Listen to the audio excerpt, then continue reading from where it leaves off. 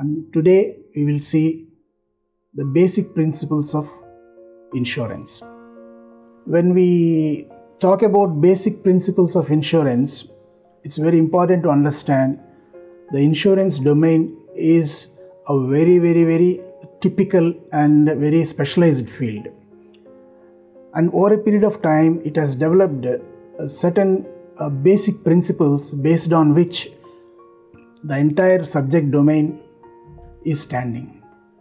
These principles are very important uh, from uh, disputes adjudication process because any violation of this principle will put uh, the violating party to disadvantage because these principles cannot be violated.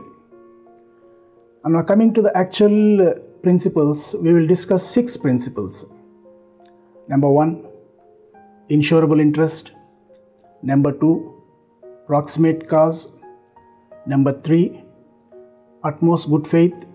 Number four, principle of indemnity. Number five, principle of sub- subrogation.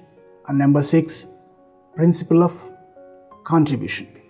These six principles form the very basis of the subject of insurance.